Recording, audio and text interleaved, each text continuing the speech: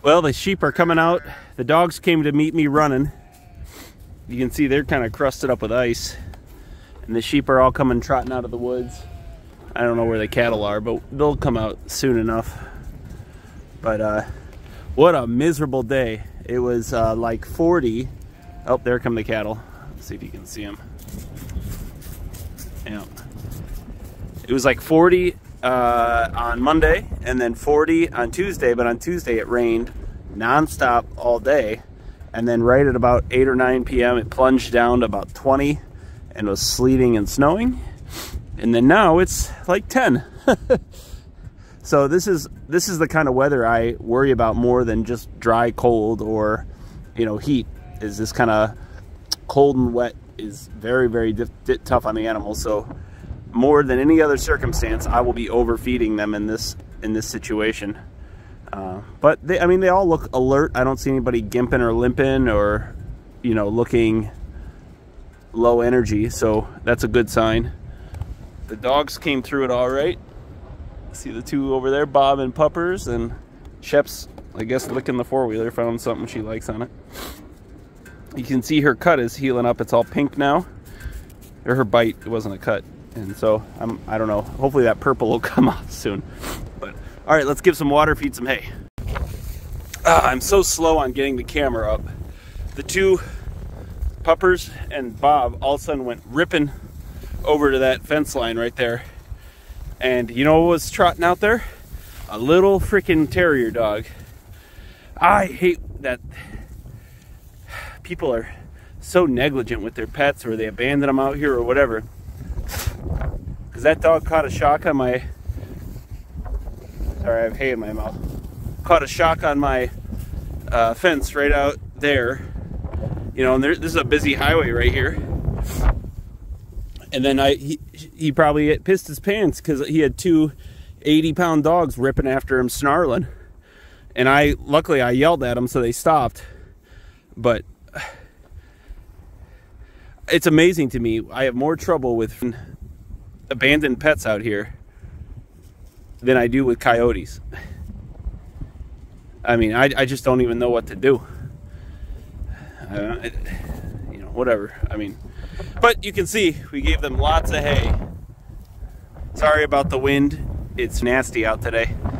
Uh, it's going to plunge down to negative 10 tomorrow, so we're having a 50 degree swing across a day or two, which is not what you want. There's my my beef cow, 14. Look at all these. They're a good looking bunch. They're weathering the, the, the, the ups and downs pretty well, but I'm not. I'm, I'm cold and I'm, I only got one cup of coffee, so I'm grumpy as hell. Anyway, I'm gonna go inside. They got lots to eat here. Uh, they can burn as many calories as they need to to stay warm. All right. Uh, this is a continual continuing look on um, how these January chicks for our increased egg layer flock are doing. You can see they're starting to feather out a little bit. and I just made them a ring out of cardboard boxes. Um, so I've been thinking a lot about it. So we've had, none of them have died. Um, but I don't think this is something I'll do again. What I need to do is just be diligent in my management as far as getting the rotation set on the proper timing. Meaning, don't don't cull out an old set of chickens without a new one, without a new set waiting to go behind them. So, but so far it's it's really gone well. They're um, they're growing quickly. They're getting very curious, and they're um, they're feathering out here. And this is a mix of some like black feathered hybrid layers. Um, I forget. There's like four because you know in January the hatchery doesn't have a ton of um, chicks hatching, so I just kind of took a a big bunch of whatever they had to, to get to you know a, a there's a there's a certain critical mass of chicks that they, they need to stay warm together in this weather. So 25 was a number, and that's that's what we got here. So it's all going well, but again, I don't think that's something I'll repeat. I just want to give a brief update as uh, we got through some pretty gnarly weather. Um, so the animals came through it, and I'm going to see if I can kind of show you. They have uh, like crunchy fur. Like th their fur on the outside is crunchy because it got wet and then froze, which is a good thing because that means that they're holding their heat on the inside. Uh, look, Bob keeps trying to take this hay string out of my pocket. Stop it, dude. Um, so they're all weathering through it pretty well. And I just really came out to check on them today because I gave them a day's worth of hay instead of the normal half and half. Hey, bud. This is the Katahdin ram. That's the backup ram. He's pretty nice. Um, hang on a second. Now, don't don't butt me, dude. He thinks he's tough.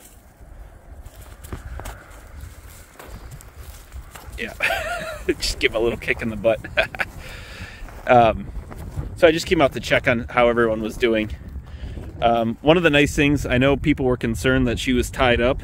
No, I on the couple of dogs that did a runner a, a while, I've been having them on a drag, which is just like a tire to slow them down a little so that they can bump hot wire instead of running right through it and blowing right through it. And she's been pretty happy since um, since we, we got her back off the drag. And so so far so good. She's been staying in.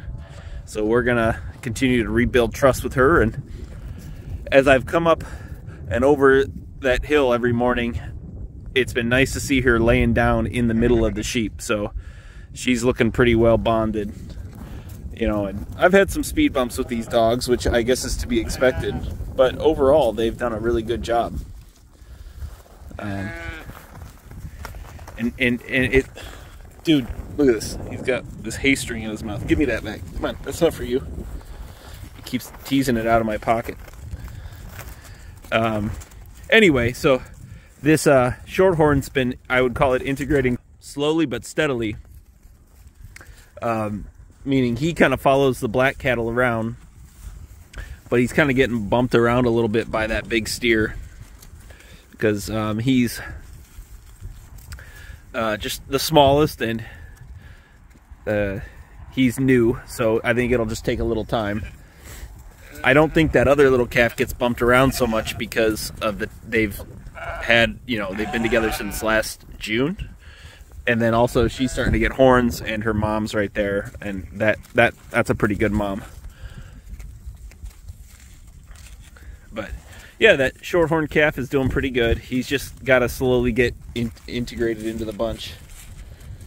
And these, I got to stop the video because these dogs keep trying to eat hay string. Hang on.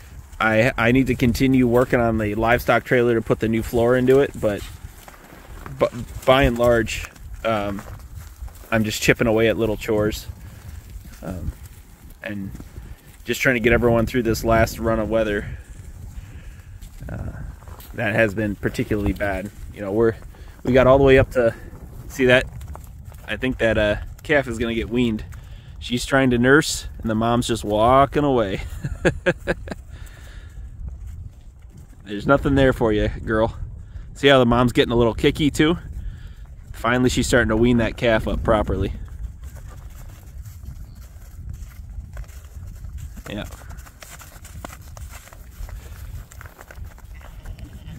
It's only gonna take uh, a couple of kicks and that calf should be off.